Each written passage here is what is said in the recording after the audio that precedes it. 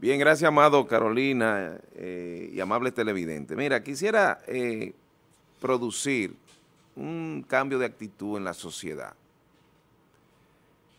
No porque seamos aguanta más y que tenemos que defender una institución o una empresa.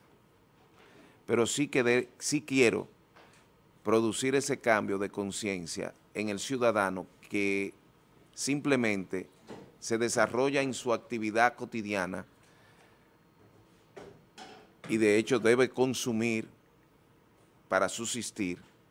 Y en ese consumo se produce desechos, basura orgánica y no orgánica, que son los desechos que debemos depositar y para lo cual hemos dado un voto de confianza tanto al ayuntamiento como el ayuntamiento a una empresa privada. ¿Para qué? Para que pueda tener el ornato y la limpieza de la ciudad de San Francisco de Macorís en orden. Pero donde insisto es que nosotros como ciudadanos tenemos una alta responsabilidad, que así como exigimos debemos de dar como deber, como un deber ciudadano, la de ser siempre ciudadanos conscientes y no ensuciar en la vía pública. Una cosa es la basura que se produce en la casa, producto del consumo, como he dicho, somos una sociedad que genera desechos, genera basura, tanto orgánica como no orgánica, y que dentro de las posibilidades se deposita o se coloca en la vía los días que se ha indicado por, el, por, por la empresa o el ayuntamiento. Ahora, vamos a ver un poquito más allá.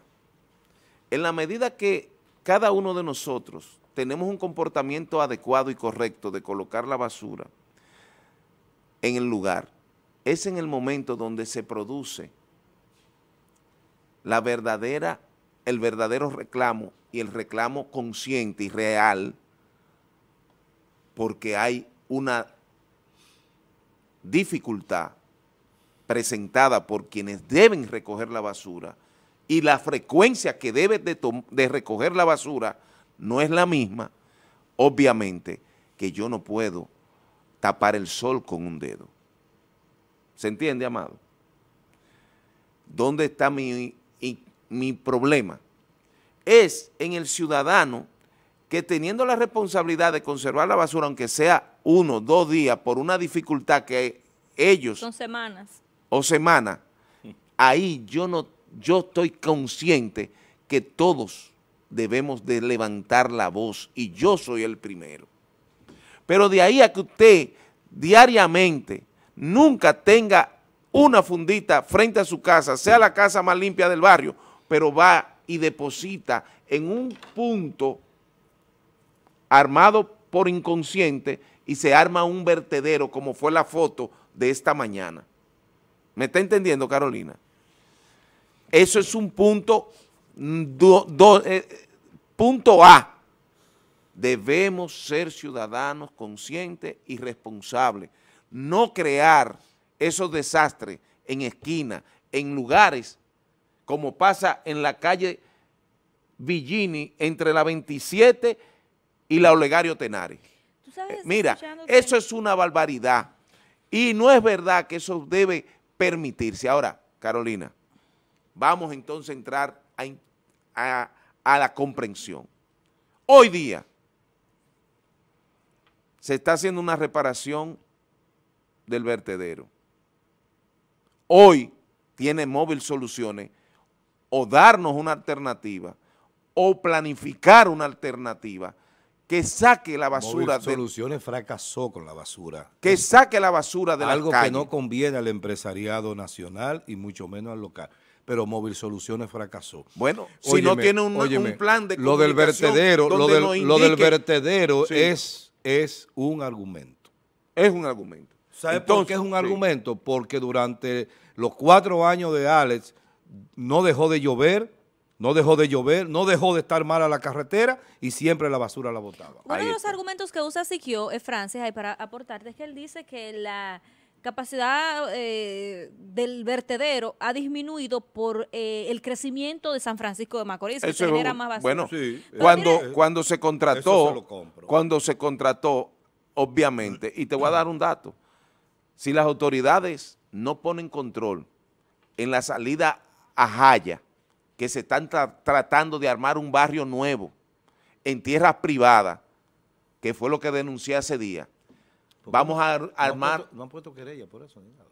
parece que no. Caramba. pero es una locura. lo- lo que quería. Entonces, fíjate una cosa, cuando tú tienes esa situación, yo no puedo ser un desconocedor de esa realidad. Y como dice Amado, le digo Amado que estoy de acuerdo con él, porque eso mismo se lo estoy diciendo a Móvil Soluciones, de que no se podría tomar el argumento de la reparación, de la reparación, de la reparación. ¿Por qué? Porque hay un proceso que debe ser informado a la población. Y es lo que yo estoy pidiendo, para que la incertidumbre no atrape la cordura de la gente. Es decir, cuando ya tú te convier- se convierte en un verdadero problema frente a tu casa, los gusanos, ustedes se dan cuenta que yo no estoy fuera de, de- de sí. Ay, me permite, lo que qui- te quiero destacar algo para que de alguna forma, pues, Sí. si se quiere, no, no, no sé si la palabra sería te defiendas. Lo que percibo en el comentario y que mucha gente entiende es que tal vez el enfoque que das tratando de orientar, concientizar y demás es a la población, más no así el enfoque al ayuntamiento y a Lo que pasa es que la gente está acostumbrada a que hayan comunicadores que vayamos a destruir la imagen y la, y la, y la, y la Ay. tranquilidad de la empresa y del el ayuntamiento. ¿Tú sabes lo que hay que hay gente? Quieren destruir, así que mira lo que le piden. No entienden que él está haciendo todo lo necesario y yo no puedo entrar en una discusión de ese tipo porque eso es personal. Realidad es que Siquio está trabajando, el ayuntamiento está funcionando. Es terrible. da. Ahora, da le está faltando sincronizar el ayuntamiento inmóvil la política de comunicación y de advertencia de lo que va a suceder mañana porque no va a poder salir el camión. Ya la gente estaría en otra posición. Pero ¿por qué no va a salir el camión? Dilo más claro, le falta gerencia, tanto al ayuntamiento ¿Por como qué no va a haber recogida de basura, porque eso es sencillo.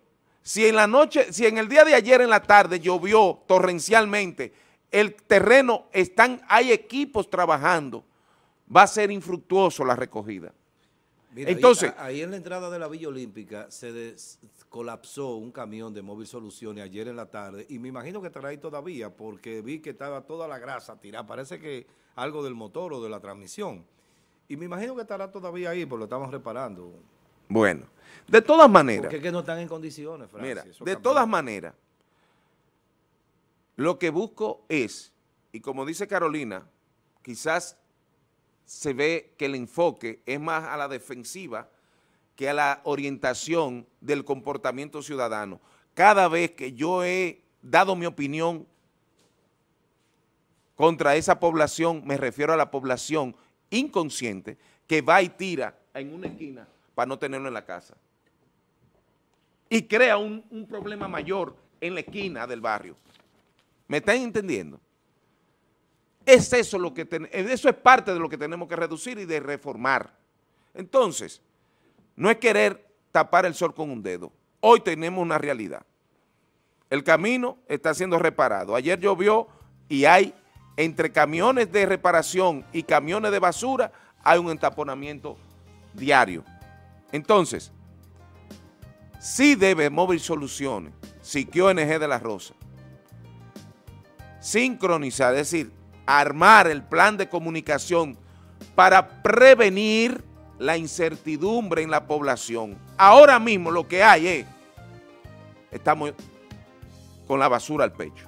Tú sabes Entonces, que eso que tú acabas- Tenemos que recoger la basura. Gracias, Pero tenemos que saber, si no, el pueblo se va a inquietar, el pueblo no va a tener paciencia y no va a poder, Me encanta este hombre. no, no, no va a poder tener Tú paciencia. sabes que cuando... cuando